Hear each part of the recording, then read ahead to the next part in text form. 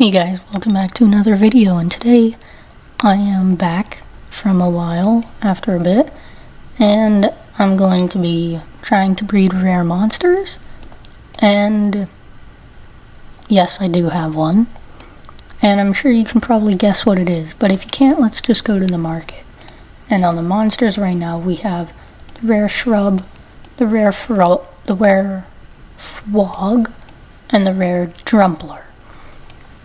Uh, yesterday there was the um, rare Mammott, but I couldn't seem to breed it. Um, these have been a pain to try and breed. I've tried to breed them.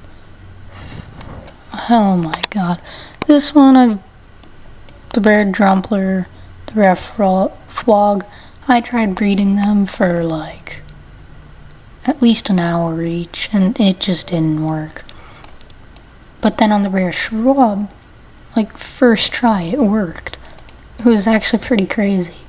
And they breed for like 10 hours at a time, but I just sped it up with some ads, and he's ready to breed. I mean, to hatch, here we go. A rare Shrubb.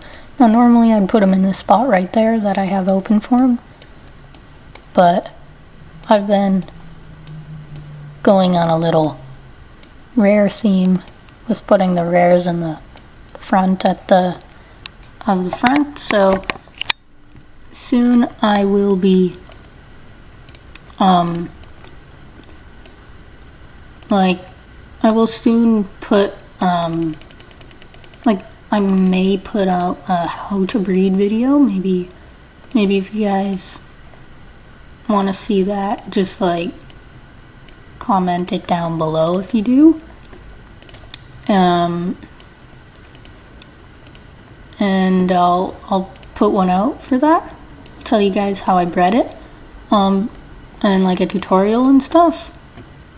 But, um, for the rare Shrubb, uh, to breed it, I believe what I did, oh, right. No, I did a Entbrat a Shrubb. I just tried it randomly and it worked. So yeah, that's how that works. Um, hope you guys enjoyed and uh, I'll continue on the hunt and I'll see you guys in the next one.